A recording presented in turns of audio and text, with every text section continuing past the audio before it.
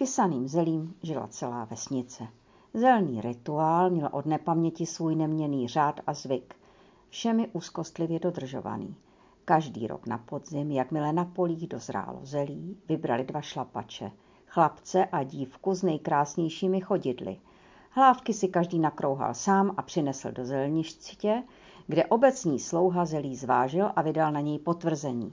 Šlapači pak v krouhance chodili celou noc, dokud z ní nevyšlapali všechen vzduch. Po šesti týdnech zelí vyzrálo a každý si mohl svůj vklad naložit do obyčejného zeláku a odvést domů. Stát se šlapačem nebo šlapačkou znamenalo velikou čest a navíc odměnu v podobě košťálu ze všech nakrouhaných hlávek. Proto si Augustín už léta šlechtil nohy odvarem z měsíčku lékařského a mastným vlátíčkem z obecní bažiny v zamardovaným. Takže se teď nemohl dočkat neděle, kdy mělo padnout rozhodnutí.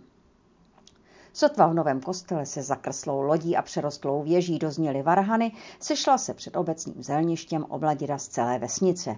Starosta Peprník s kovářem stoje spalem všem prohlédli, očichali, ba i olízli chodidla a po dlouhém rokování vybrali právě Augustina Hnáta a Lenku Číšenskou.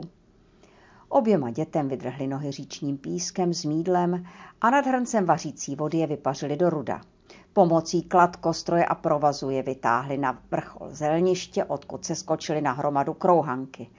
Proužky zelí zbrzdily jejich pát lépe než naducaná peřina. Stoupli si čeli k sobě a rukama se chytili kolem pasů. Pak začali uvnitř kádě tančit na hudbu svých mladých srdcí, jež začala bušit ve stejném rytmu.